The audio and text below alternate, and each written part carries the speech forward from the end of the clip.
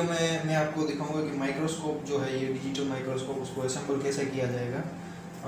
सबसे पहले माइक्रोस्कोप के साथ इतनी चीज़ें आएगी जो कि इंडिविजुअली होगी। ये माइक्रोस्कोप का स्टैंड है, ये इसका पाइप है है सी है, ये कैमरा होल्डर है और ये उसका सप्लाई के लिए एडेप्टर है और ये एलईडी लाइट है। तो सबसे पहले ये स्टैंड के ऊपर ये पाइप जो है, उसको लगाएँगे। पाइप के साथ ऐसे बोल्ट रहेगा इधर।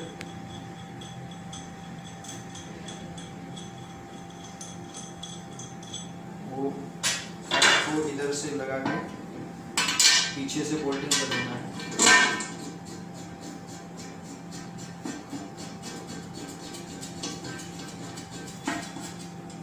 और उसके साथ में ये एलन की टूल भी आएगा तो उसको अच्छे से टाइट कर सकते हैं।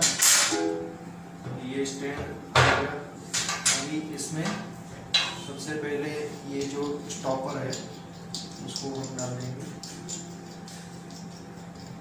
उसके लिए ऊपर ये जो ब्लॉक कैप दिया हुआ है, उसको निकालना पड़ेगा।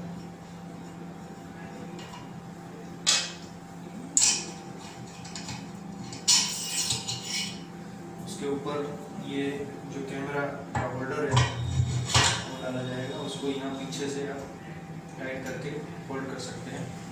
ये स्टॉपर जो है भी ऐसे स्टॉप करने के लिए है, और ये नीचे ना चला जाए उसके लिए। अभी ये माइक्रोस्कोप का लेंस है, जिसके दोनों तरफ़ ढक्कन लगे होंगे।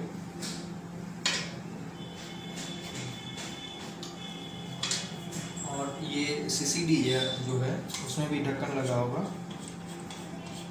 उसका ढक्कन खोल के इसमें लगा देना है।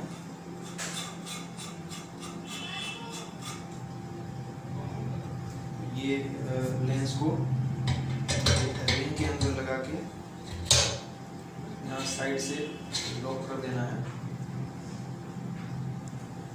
और उसके ऊपर ये इसके ऊपर वापस वो ब्लॉक कैप लगा दिया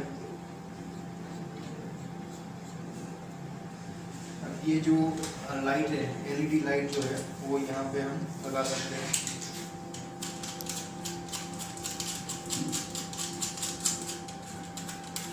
पहले इसको खोल देना है।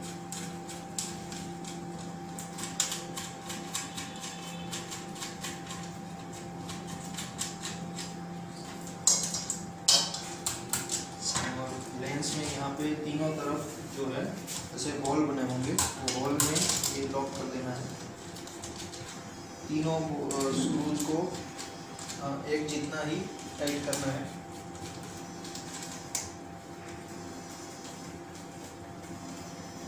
ये हो गया फिटिंग एलईडी का। उसके साथ में ये इसका पावर सप्लाई रहेगा उसको हमने यहाँ पे चेक दिया गया है, उसमें लगा सकते हैं। और ये कर दिया इसको।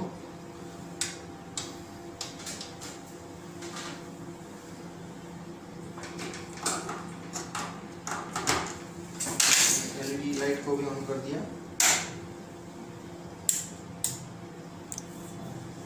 अब यहाँ पे एलईडी जो है एलईडी में ऐसे रेगुलेटर दिया हुआ है एलईडी का।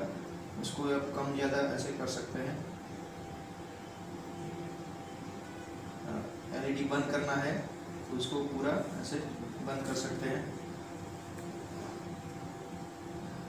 अब इसका व्यू जो है, वो मॉनिटर में देखने के लिए कनेक्शन देना होगा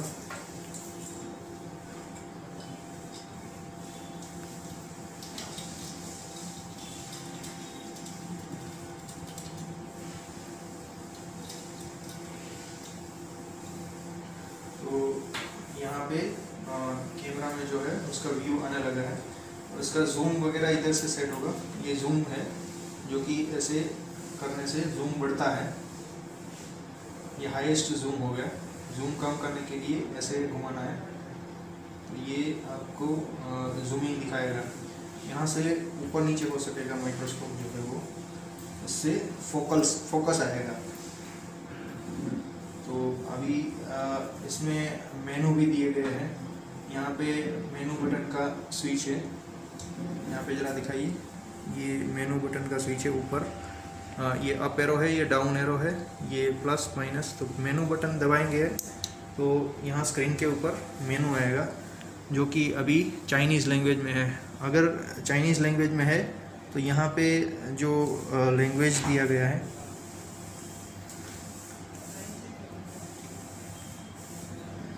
ये मेनू जो है, उसमें यहाँ पे लैंग्वेज सिलेक्शन है। तो ये सिलेक्शन जो है, उसको यहाँ एरो की से आप नीचे ला सकते हैं। ये नीचे आ रहा है। यहाँ लैंग्वेज में आ गया। अब ये लैंग्वेज जो है, वो चेंज करना है सिलेक्शन उसके लिए ये साइड वाला जो प्लस का बटन है, उसको प्रेस किया। तो यहाँ पे ये चेंज हो रहा है वैल्यू चेंज हो रहा है। अभी ये मैंने एक बार क्लिक किया।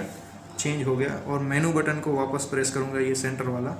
तो लैंग्वेज जो है वो इंग्लिश हो जाएगा चाइनीज़ में से इंग्लिश लैंग्वेज हो जाएगा। तो अब आप सारा कुछ यहाँ पे सेटिंग देख सकते हैं। इसमें रेड ग्रीन ब्लू सेटिंग दिया हुआ है कॉन्ट्रास्ट दिया हुआ है ब्राइटनेस दिया हुआ है। रिजोल्यूशन भी आप अलग अलग सेलेक्ट कर सकते हैं। ये जैसे इतने रिजोल्यूशंस जो है वो इसमें सपोर्ट है। तो आप कोई भी रिजोल्यूशन जो है वो सिलेक्ट कर सकते हैं।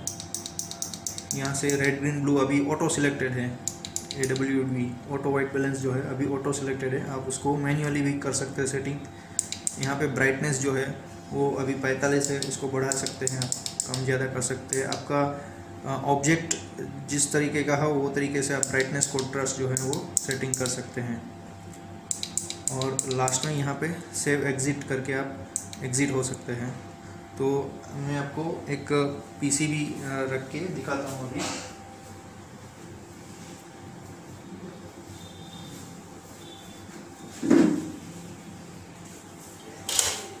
जैसे कि ये मैंने पीसीबी रखा हुआ है इधर। अभी मुझे सबसे पहले इसका जूम में सेट कर रहा हूँ और उसके बाद में ये लाइट मैंने चालू की। एलईडी लाइट जो है, वो मैंने ऑन की। और ये मैंने फोकस सेट किया। तो ये आप देख रहे हैं कि ये जो पीएफ है, छोटा सा पीएफ जो है वो कितना बड़ा दिख रहा है।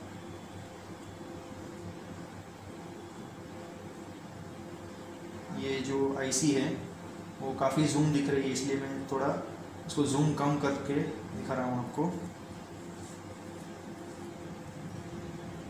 उसके लिए वापस फोकस सेट करना होगा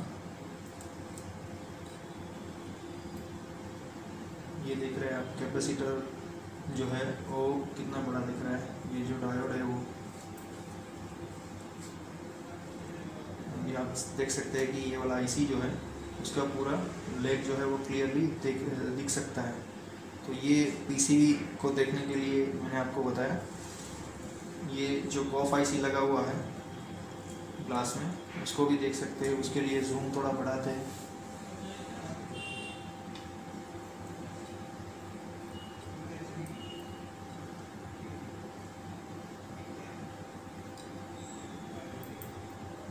जूम बढ़ाने के बाद उसको फोकस किया। तो अभी आप देख सकते हैं कि ये जो ट्रैक्स हैं, वो काफ़ी बड़े बड़े दिख रहे हैं।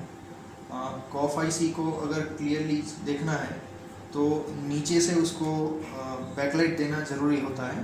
तो हम क्या करते हैं कि इसको से घुमा देते हैं और बैकलाइट्स को स्टार्ट कर देते हैं।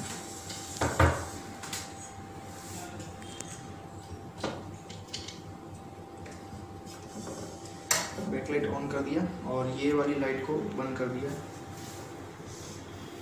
तो अभी जो है मैं ये एक कॉफ आई सी जो है उसको यहाँ पे रख के आपको दिखा रहा हूँ जूम मैंने हाईएस्ट कर दिया है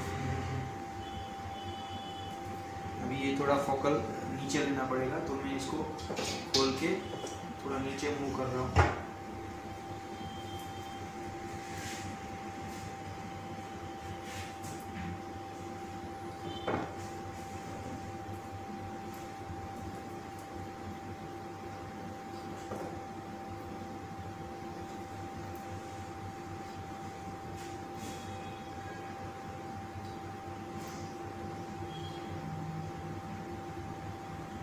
सकते हैं कि कॉफ के ट्रैक्स आपको क्लियरली दिख सकते हैं यहाँ पे।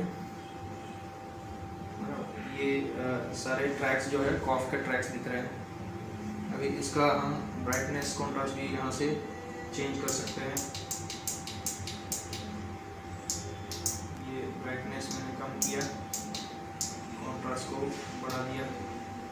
तो ऐसे आप, जो आपका ऑब्जेक्ट है वो हिसाब से आपको इसमें ब्राइटनेस कॉन्ट्रास्ट जो है, वो चेंज कर सकते हैं। ये सारे ट्रैक्स जो है आप ऐसे देख सकते हैं।